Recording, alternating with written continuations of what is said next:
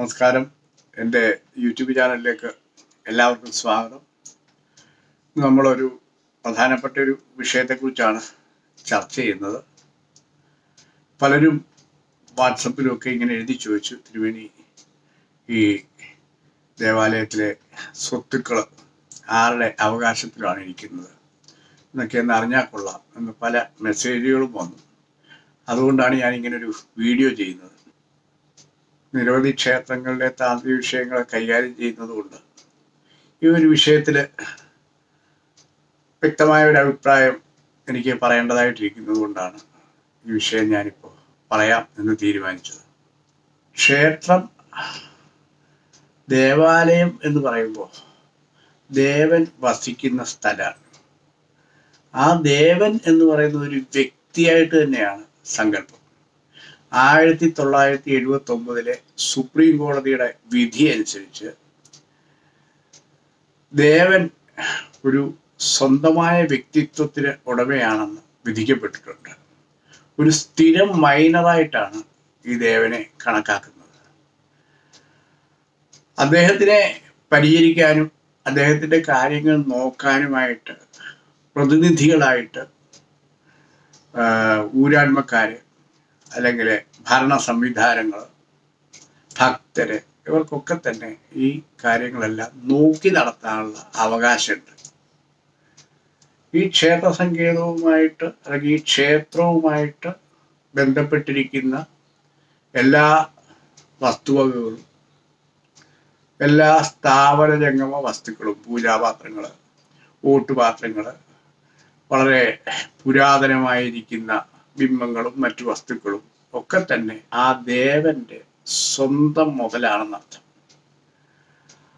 ആ മുതലുകൾ നമുക്ക് ക്രയവിക്രയം ചെയ്യണമെങ്കിലോ അല്ലെങ്കിൽ കൈവശപ്പെടുത്തണമെങ്കിലോ അല്ലെങ്കിൽ ഉരുക്കി വേറെ പാത്രങ്ങളൊക്കെ ഉണ്ടാക്കണമെങ്കിലോ ഒക്കെ ദേവന്റെ അനുവാദം ഉണ്ടായിരിക്കണം.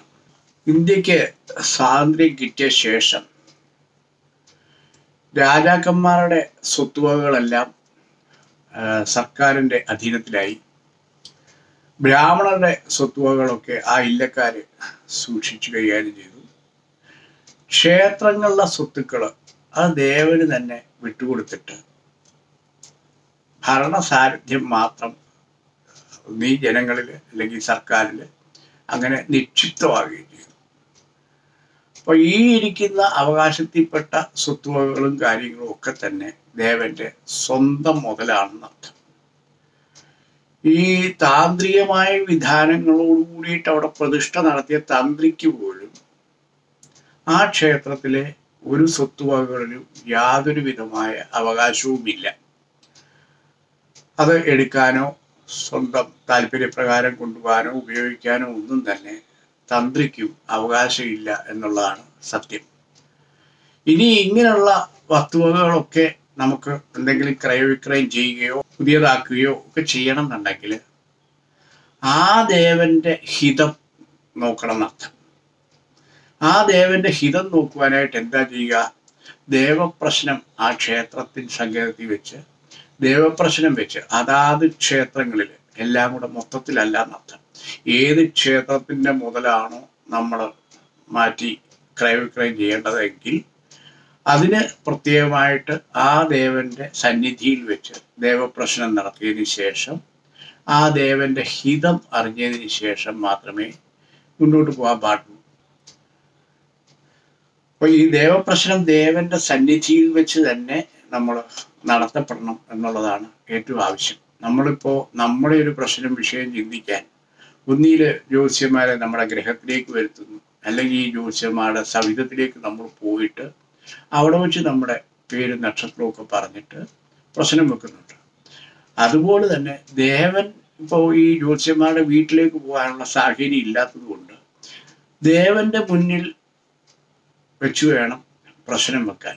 അത് ഏറ്റവും ഉത്തമം ഈ അഷ്ടമംഗല പ്രശ്നമായിട്ട് തന്നെ ചെയ്യുന്നതായിരിക്കും ഏറ്റവും ഉത്തമം എന്ന് പറഞ്ഞാൽ പല ആൾക്കാർ കൂടിയിരുന്ന് ആ വിഷയങ്ങൾ പൂർണമായിട്ട് ചിന്തിച്ച് ദേവന്റെ ആ ഇഷ്ടാനിഷ്ടങ്ങൾ മനസ്സിലാക്കിയതിന് ശേഷം മാത്രമേ നമ്മൾ ആ ദേവന്റെ സ്വത്തുവകകളിൽ കൈകടത്താൻ പാടുള്ളൂ.